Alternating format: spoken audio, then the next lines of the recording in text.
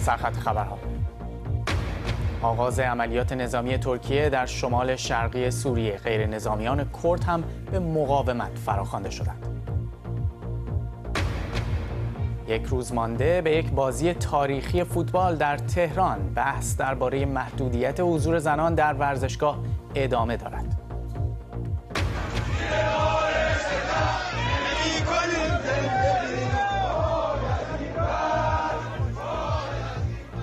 چهارمین روز اعتراض در کارخانه آذراب عراق کارگران خواهان پرداخت حقوق معوقه و تغییر مدیریت شرکتند.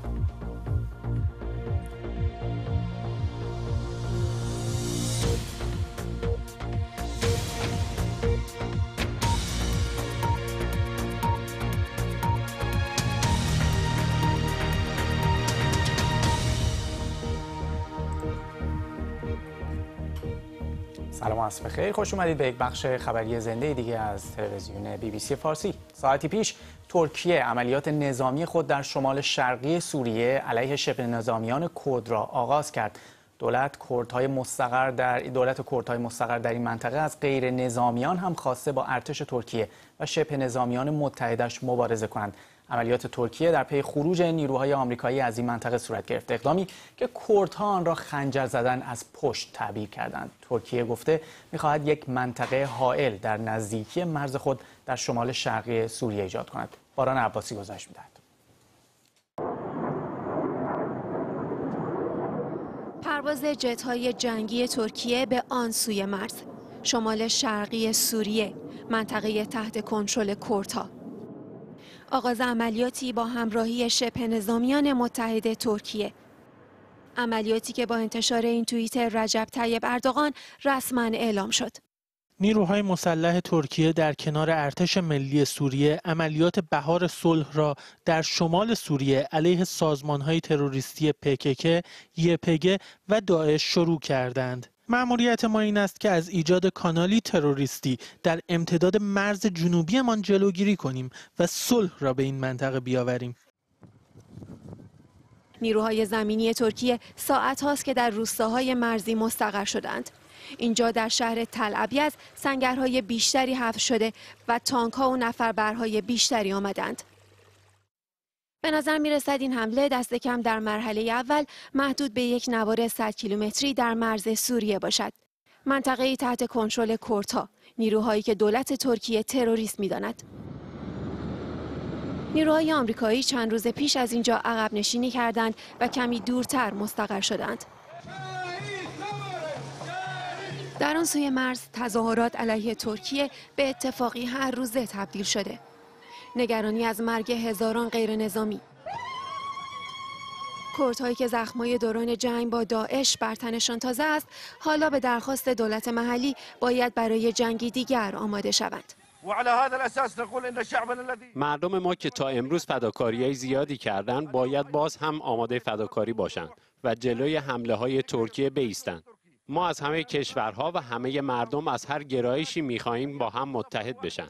و فریاد اعتراضشان را به گوش ترکیه برسانند سه کشور روسیه ترکیه ایران. ایران که مخالف این عملیات است از ترکیه خواسته بود خیشتنداری کند. راه حل امنیت در مرزهای شمالی سوریه و مرزهای جنوبی ترکیه با حضور ارتش سوریه امکان پذیر هست. آمریکایی‌ها باید خارج شن از این منطقه و کردها هم که به هر حال سوریه کشور اونها هست بیان در کنار ارتش سوریه دولت سوریه. اما شیوهی که اخیرا انتخاب شده توافقاتی که پشت پرده انجام گرفته به نفع منطقه نخواهد بود. ما از کشور دوستمون و برادرمون ترکیه و دولت ترکیه می‌خواهیم که در این گونه امور دقت بیشتری به خرج بده حوصله بیشتری به خرج بده. روسیه پشتیبان قدرتمند دولت سوریه موضع مشابهی دارد. ولادیمیر پوتین امروز با شورای امنیت ملیش جلسه داشت. با این هشدار که نباید دست به کاری زد که بر سر برقراری صلح و امنیت در سوریه مانعی ایجاد شود. این هشدارها اما برای ساکنان شهر مرزی رأس شاید کمی دیر باشد. چادرهای آوارگان دوباره برپا شده. صدها هزار غیر نظامی بیگناه سوری که سایه جنگی دیگر بر سرشان سنگینی می کند. باران عباسی بی بی سی. همکارم شبنم شعبانی اینجاست که تحولات رو دنبال کرده. شبنم از آخرین ها برامون بگو. مجید از حمله مدت زمان خیلی طولانی نمیگذره. جزئیات خیلی دقیقی بیرون نیامده. هنوز می‌دونیم که رسول این بوده و حوالی اون. هنوز جزئیاتی نداریم که آیا قربانی بر جای گذاشته. همطور که در گزارش هم دیدیم بسیاری از غیر نظامی ها کسایی که آواره شدن در طول جنگ سوریه اونجا کمپاشون هست زندگی می‌کنن.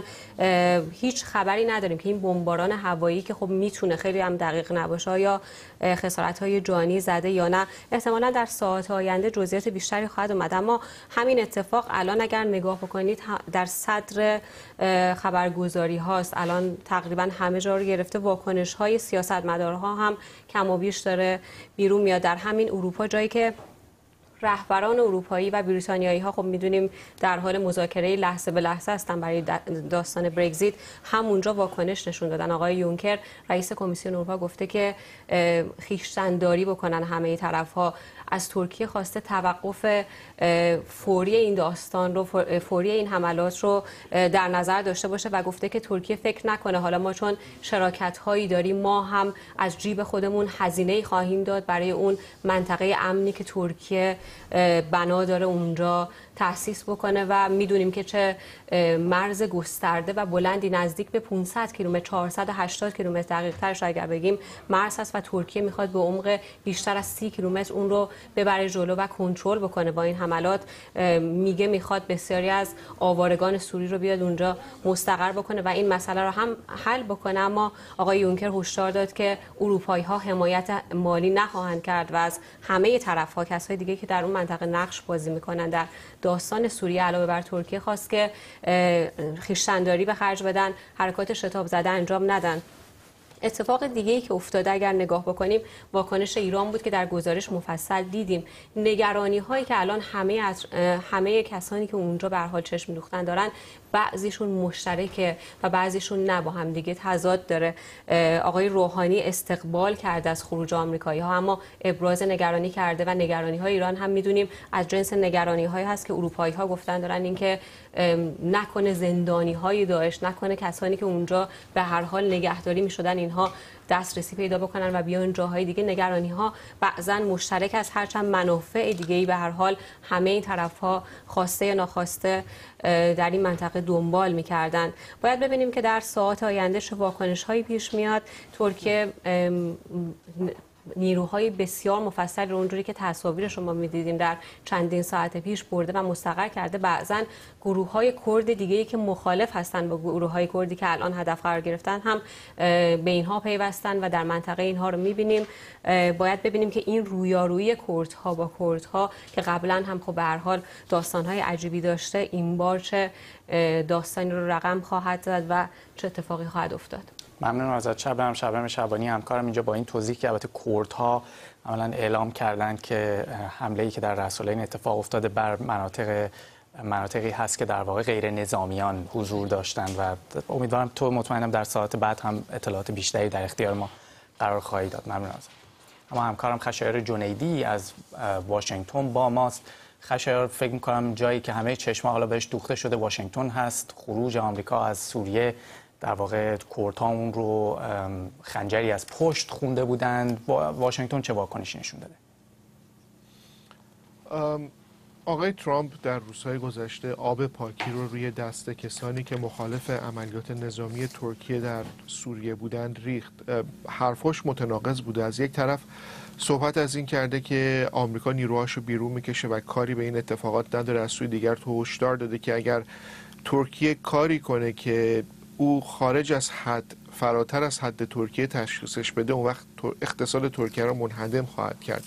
منتها واکنش بسیاری از شخصیت های برجسته جمهوری خواه به سخنان آقای ترامپ نشون می‌داد که اونا به نحوی ناامید شدن از اینکه آمریکا بخواد پشت کردهای شبه نظامیان کرد در سوریه در بیاد و عملا اون رو رها کردن متحدان آمریکا تعبیر کردن چه از نیکی هیلی که سفیر سابق آقای ترامپ در سازمان ملل متحد بود چه لینزی گرام سناتور جمهوری خواه کسی که به شدت انتقاد کرده از موزگیری آقای ترامپ و خواهان این شده که در مجلس سنا قطنامه و تحریم های علیه ترکیه در صورت عملیات نظامی تصویب بشه و روز گذشته توییت کرد که اگر خواستار این هستید که یک رابطه شکننده را از بین ببرید بهترین کار هست که در سوریه اقدام به تهاجم نظامی بکنید. بنابراین اینجا جمهوری خواه خیلی هاشون ناراضی هستن بسیار منتقدن دموکرات ها هم منتقدن. صحبت از این می‌کنن که کردها در طی جنگ سوریه قابل اتکاترین متحدان آمریکا بر روی زمین علیه داعش بودن و الان آمریکا نباید اونها رو رها کنه. منتها آقای ترامپ صحبت از این می‌کنه که خواستار این بوده از اول که در جنگ های بی پایان خاور میانه دخالتی نداشته باشه و آمریکا و این بر عهده کشورهای منطقه است که بخوام بشینن سنگ هاشون رو با هم وا بکنن و به اختلافاتشون پایان بدن. به حال کردها هم ناراضی هستند از اقدام آقای ترامپ. از طرف دیگر گزارش هم منتشر شده که به ارتش آمریکا توضیح داده شده که دستور داده شده که اقدام نظامی نکنند در, در قبال نیروهای ترکیه علیه هواپیماهای ترکیه احیانا اقدامی نکنند مگر اینکه مواضع خود آمریکایی ها مورد هدف قرار بگیره.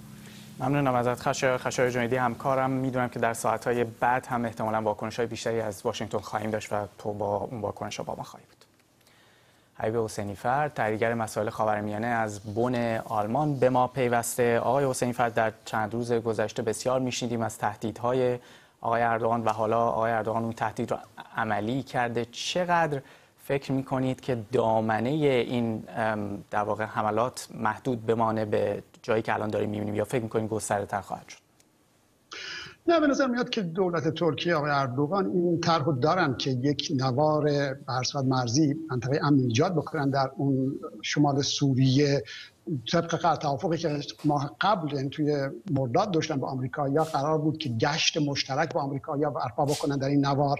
ولی الان که آمریکایی‌ها کشیدن خودشون رو کنار به نظر میاد که ترک ها با توجه به که کردها هم تو چارچوب همون توافق ترکیه و آمریکا بخشی از امکانات و تدابیر دفاعیشون رو که در این مناطق مستقر کرده بودن عقب کشیدن. اولا ترک ها آنچنان مانعی ندارن برای ورود شمال سوریه. به نظر میاد که تا از همین منبج تا به مرز عراق رو می‌خوان این نوار رو ایجاد بکنن.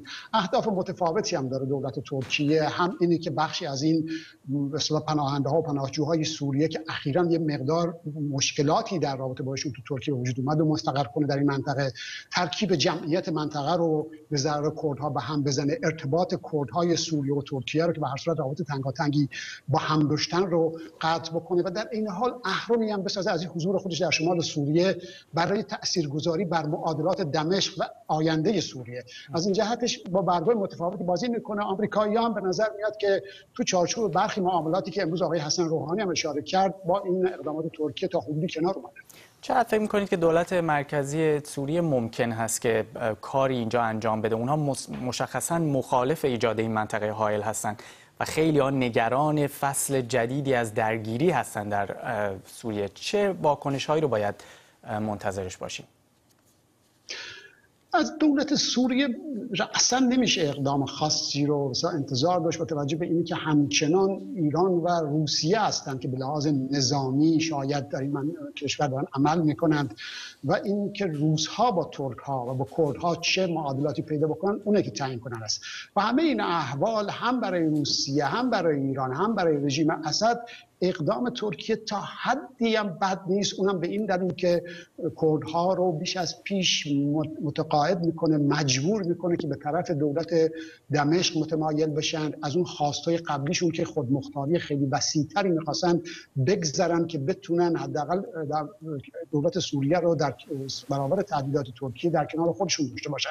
از این جهتش به نظر میاد که صحبت ها و مذاکرات فشرده ای احتمالاً به جریان خواهد افتاد. چه تو چارچوب اون مذاکرات آستانه که روسیه و ایران و ترکیه درش هستند چه در رابطه با مذاکراتی که بین آنکارا و واشنگتن در جریان خواهد بود. ولی به هر صورت کردها میشه گفت که بازنده کل این مسائلی هستند که الان در پیش میره. به نظر شما بین ایران، ترکیه و در واقع روسیه که عملا خیلی از امور همونطور که شما گفتیم در سوریه به پیش می‌برن. چقدر در این مورد این حمله هماهنگی وجود داره؟ آقای اردوغان پیش از حمله گفته که با ولادیمیر پوتین تماس گرفته با او هماهنگی کرده. فکر می‌کنید ایران هم همراستا با این مسئله موافقه با آنچه که در سوریه داره اتفاق میفته نه همونطور که گفته شد یه تا یه حدی موافقن تا اون حدی که کردها رو مجبور بکنه متقاعد بکنه که به طرف دولت دمشق متمایل بشن. ولی هم روسیه هم ایران این نگرانی رو هم دارن که ترک ها دارن با برگ های مختلفی بازی می‌کنن. از طرفی در نشست آستانه هستن در روند آستانه با ایران و روسیه دارن به بازی می‌کنن. از طرفی هم ما می‌دونیم که آنکارا به هر صورت با دولت آمریکا روابط تنگاتنگی داره. یعنی همین روابطش با روسیه و ایران رو به عنوان اهرامی برای زیر فشار گذاشتن دولت آمریکا به کار گرفته که هم دولت آمریکا حمایتش از کردها برداره هم تو چارچوب خرید F35 به اصطلاح حدودی با ترکیه همکاری بکنه. و همه این دلایل به نظر میاد که الان ترک ها به واشنگتن این قول هم احتمالا دادن که ما هم تمشیت امور این داعشی هایی که در این منطقه زندانی هستن رو به عهده می‌گیریم. همین که حضورمون در شمال سوریه رو به عنوان اهرامی در جهت فشار بر دولت سوریه معادلات آینده تدوین قانون اساسی جدید سوریه اینا همه به کار خواهیم گرفت تا حدودی نظر واشنگتن هم تأمین بشه. و همه این دلایل به نظر میاد که ترک ها با, با کارت های متفاوتی دارن بازی می‌کنن که لزوما همش هم به سود ایران و روسیه نیستش. ممنون ازتون آقای حسینی فرد طبیب حسینی فرد تریگر مسائل خاورمیانه از بن آلمان. تا کمتر از 24 ساعت دیگر تیم ملی ایران در ورزشگاه آزادی به مساف تیم کامبوج می‌رود. بازی که از یک جنبه کم نظیر است. برای اولین بار در حدود 4 دهه اخیر به صورت عمومی به زنان هم بلیت فروخته شده. گزارش شده که تا یک روز مانده به این بازی از مجموع حدود 75 هزار صندلی ورزشگاه آزادی عمده خرید آنلاین بلیت برای زنان بوده. 2500 بلیت الکترونیکی را تماشاگران مرد خریدند و 3500 بلیت را تماشاگران زن. در عین حال زنان علاقمند به فوتبال اعتراض دارند که دیگر نمی‌توانند روی وبسایت بلیت بخرند. همچنین تصاویری از نصب نرده همونطور که می‌بینید بین صندلی های زنان و مردان در ورزشگاه منتشر شده. این موضوعات در شبکه های اجتماعی بحث برانگیز شده. همکارم فرن تقیزاده که شبکه های اجتماعی رو دنبال می‌کنه اینجا در استودیو با ماست. فرن خیلی مطالب زیادی است کمتر از 24 ساعت مونده. خیلی خوشحالن از اینکه دارن میرن ورزشگاه. در این حال خیلی اعتراض ها هم زیاد کمی از واکنش ها در شبکه اجتماعی. همین دو موضوعی که مشخصا الان بهش اشاره کردی تعداد بلیط هایی که فروخته شده و همینطور این حفاظ هایی که امروز عکسش منتشر شد که دارن در قسمت زنان و فاصله که با مردان وجود دارن می‌کشن خیلی بحث ها زیاد شده. در مورد حفاظ ها خیلی واکنش ها منفی بوده به این قضیه. از طرفی میگن که این نه تنها توهین به زنان هست توهین به مردانی هم هستش که میرن بازی فوتبال می‌بینن و نوع برخورد اونها هم زیر سوال میره. آیا مردان برخورد نامتناسبی خواهند داشت با زنان که این نرده ها کشیده میشه. یه سری دیگه که به نوعی می‌تونم بگم طرفداران اصلاحات هستن در مورد این صحبت می‌کنن که همین که زنها تونستن برن در استادیوم آزادی خودش یک نکته مثبتی هست. حالا این حفاظ ها هم در آینده نه چندان دور برداشته میشه.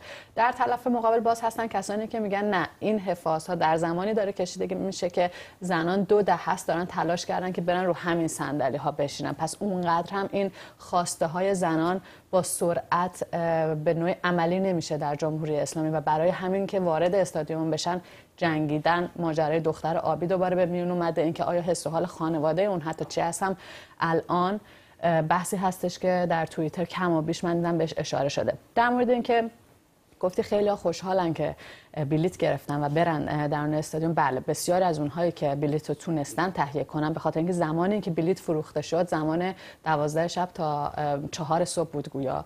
و این کم بودن زمانی که می‌تونستن برای زنان باز شده بود و برن بخرن خودش مسئله ساز شده. و بسیاری میگن که خب خیلی از زنان دسترسی نداشتن به اینترنت در اون زمان یا نتونستن برن بلیت رو تهیه کنن. آیا ما الان باید که تونستیم بلیط تهیه کنیم بریم و بشینیم روی صندلی ها یا حمایت کنیم از همه زنان که نتونستن تهیه کنن؟ این یه بخشی هستش که البته کاربران که به مسائل کلی تر نگاه می‌کنن دارن در موردش صحبت می‌کنن. ولی باز از اون حس خوشحالی ما یه سری ویدیو گرفتیم که تو شبکه های اجتماعی خودمون به اشتراکش می‌ذاریم. در مورد حس یک روز قبل از بازی یه سری از خانم ها به ما گفتن که آره خیلی خوشحال هستن دارن میرن. ولی برای اینکه برن روی این صندلی ها بشینن حتی با اطرافیان خودشون هم جنگیدن و بحث کردن روزها. میگن که حتی با همکاران زن خودمون هم حتی امروز هم داریم بحث می‌کنیم. اونها مثلا خیلیشون گفتن که آقا وقتی شما یا خانم وقتی شما امنیتت هنوز مشخص نیست در چه سطحی هستش. برای چی خودتو به خطر میندازی و میری روی این صندلی ها میشینی؟ ولی برای اون زنانی که بلیت گرفتن رفتن اونجا خودش یک اتفاق تاریخی هستش. خیلی از این دارن صحبت می‌کنن که فردا همین زنها یک اتفاق تاریخی و رقم خواهند زد. رقم, رقم خواهند زد و باز اشاره می‌کنن که فیفا طبق بیانیه‌اش و طبق دستورالعملی که داره تا زمانی که جای خالی در یک استادیوم ورزشی فوتبال وجود داره باید بلیت فروخته بشه. هیچ محدودیتی برای زن بودن یا مرد بودن بر اساس جنسیت یا حتی مذهب یا اقلیتی که وجود داره نباید وجود داشته باشه که برن بازی فوتبال ببینن. برای همین دیشب یک طوفان توییتری را انداخته بودن ویک اپ فیفا یا وی وانت مور تیکتس که زنها می‌خواستن که همراهی کنن همه در روی توییتر باهاشون که به فیفا اعلام کنن که شرایط الان این هست محدودیت ایجاد شده برای تهیه بلیت یا زود بسته شده و از فیفا بخوان چون ناظر فیفا فردا حضور داره در اون استادیوم از اونها بخوان که برای ورود بیشتر زنان به ورزشگاه یک تلاشی انجام بدن و ببینن که شرایط چی چون صندلی ها خالی هستش. بر اساس اون خبری هم که خوندی امروز خبر منتشر شد که به زنان بیشتر از مردان بلیت فروخته شده. بلیت الکترونیکی دیگه. بله. ولی خب هنوز به نظر میاد که جای خالی در استادیوم وجود داره. در مورد درب جداگانه هم که زنان و مردان فردا ورود خواهند کرد به استادیوم بحثای زیادی وجود داره. مردا اونطور که من در خبر دیدم از در غربی وارد میشن زنها از در شرقی و پارکینگ های اونها هم جدا هستش. حتی همین جداسازی پارکینگ هم مسئله شده. یه سری دیگه من فقط یک چیزی رو بگم. با همسران خودشون با پدر خودشون یا با فرزندای مثلا ده ساله خودشون پسر ده ساله خودشون می‌خواستن بلیت بخرن و برن بازی رو تماشا کنن. پسر ده سالش نمی‌تونه با مادرش بره بشینه در روی یک صندلی بلیت بخره به خاطر اینکه اجازه نداره زن نیستش و همین هم باز مسئله ساز شده. اگر که تشویق می‌کنیم خانوادگی بیایم یک بازی فوتبال رو ببینید این جدا سازی ها معنی نداره و این چیزی هستش که در توییتر هم باز مطرح میشه. من فقط یه خواسته دارم از بینندهایی که می‌دونم فرصت نیستش از بینندهایی که دارن ما رو می‌بینن. ما از امروز تقریبا شروع کردیم پوشش خودمون رو از حس و حال زنها که می‌خوان وارد ورزشگاه بشن و اونها که بلیت دارن یا نتونستن حتی بلیت تهیه کنن در بخش مختلف خبری یا در شبکه های اجتماعی پوشش بدیم. می‌تونن به at BBC شما روی تلگرام به ما message بدن بفرستن یا اینکه رو توییتر می‌تونن پروفایل منو پیدا کنن اونجا به من message بدن و ویدیوهاشون رو بفرستن. ممنون ازت فرین فرین تقیزاده اینجا در استودیو شمار فعالان اقلیمی که در سه روز اعتراضات پی در پی در لندن بازداشت شدند به 500 نفر رسیده. با این حال معترضان می‌گویند تا 11 روز دیگر به اعتراضات خود ادامه می‌دهند. خواسته معترضان اقدام فوریتر و گسترده‌تر دولت‌ها برای کاهش مصرف سوختهای فسیلی و مقابله با بحران اقلیمی است. معترضان زیر چتر تشکیلاتی به نام شورش علیه انقراض فعالیت می کنند که سال گذشته اعلام موجودیت کرد ولی حالا در چندین کشور دنیا اعتراضهای مشابهی برپا کرده. ولی محور این تجمعات اعتراضی و مسالمت آمیز در لندن است. خبرنگار ما سیاوش اردلان از مرکز لندن با ما. سیاوش چند روزی است که تو هم با این معترضان حداقل چند ساعتی رو گذروندی. به اون بگو حالا هوای امروز چطوره؟ حالا هوای امروز بیشتر از اینکه حالت تنش و درگیری باشه که دیروز شاهد بودیم در مقابل پارلمان بریتانیا بیشتر یه حالت خانوادگی گرفته. برای اینکه پلیس موفق شده بعد از 500 مورد دستگیری و هرچند با ملایمت بسیار معترضان رو تجمیع بکنه در یک نقطه بسیار متمرکز و توریستی لندن که همه اینجا اتراق کردن چادر زدن و همچنان تاکید می‌کنن که تا دو هفته آینده تا 11 روز دیگه اعتراضاتشون پابرجا هستش. اشاره کردیم به این دستگیری ها با سارا من اینجا ملاقاتی داشتم. سارا یکی از فعالان گروه شورش علیه انقراض هست که دستگیر شد و همین امروز آزاد شد. سارا رفتار پلیس چطور بود تو این مدت؟ خیلی مهربون. خیلی قشنگ با من رفتار کردن. فقط دارن کار خودشونو می‌کنن. اصلا تقصیر پلیس نیست که دولت به محیط زیست تمرکز نمی‌کنن. پلیس فقط دارن کارهای خودشونو می‌کنن. الان تو اینجایی که هستین یکی از نگرانی هایی که حداقل تا دیروز بود نگرانی نه بیشتر یه انتقادی بود که می‌کردن اینه که شما دارین برای مردم مزاحمت ایجاد می‌کنین. یعنی چی؟ خیابونا رو میبندین نمی‌ذارین مردم کارشونو بکنن. این اثر منفی داره. خب ولی اثر منفی محیط زیست خیلی بدتر میشه. ده سال دیگه می‌بینیم که تمام کشورهایی که نزدیک به اقیانوس هستن همشون میرن زیر آب. و خودتون می‌دونی که ایران داره گرمتر و گرمتر و گرمتر میشه. خب آب اگه تموم بشه ما چی کار کنیم؟ این این یه مشکل خیلی بزرگتر هست که ما الان داریم جلوگیری ازش می‌کنیم. داریم چیز انتظار می‌کنیم از دولت که جلوگیری کنن از این چیز خیلی بدتر. خب الان مثلا اینجا تو بریتانیا شما دارین اعتراض می‌کنین. بریتانیا خودش نسبت به سال 1990 چهل درصد کم کرده دیوکسید کربنشو. چرا به دولت بریتانیا؟ چرا نه به دولت هایی که الان خیلی آلاینده ترن مثل روسیه مثل چین مثل عربستان مثل آمریکا. خب دو تا دلیل داره. یه نه هست که ما همین کار کردیم. رفتیم جلوی دولت های چین و آمریکا و روسیه همه این جاها ولی اون اثر نداشت. بعدش هم چیز ما اینجا هستیم چون اینجا تو انگلیس امن هست. اینجا حق انسان رو می‌شناسن. و اینجا ما می‌تونیم چیز داد خیلی بلند بزنیم که دوباره چیز امنیت درست بکنیم برای برای اون آدم های چین و روسیه و عربستان و این جاها. اگه ما حرف نزنیم الان پس کی؟ حالا به این ترتیب کشوری که این امنیت رو ندارن مثل روسیه عربستان مجوزم نمیدن برای اعتراضات زیست محیطی اینجوری مربوط به بحران اقلیمی. تو این کشورها این گروه شورش علیه انقلاب شعبه ای نداره اصلا کاری نمی‌کنه فعالیتی نداره. چیزی که مهم هست برای این movement برای این جنبش؟ برای این جنبش. هست که آدم ها خودشونو نذارن جلوی violence جلوی عفونت. خشونت خشونت ببخشید. برای همین ما میگیم که اگر این Extinction Rebellion می‌خواد چیزی کاری بکنه توی اون کشورها خیلی از خودشون مواظبت بکنن. برایش ما هم اینجا هستیم. ما هم solidarity داریم با اون کشورها. متشکر هستم سارا. با پیامی از مبارزه مسالمت آمیز و پرهیز از خشونت. مجید. ممنونم ازت سیاوش و می‌دونم که تو در روزهای بعد هم اونجا خواهی بود و برامون گزارش خواهی فرستاد. تشکر. به پایان این بخش خبری رسیم تا دقایقی دیگه با خلاصه خبر باشم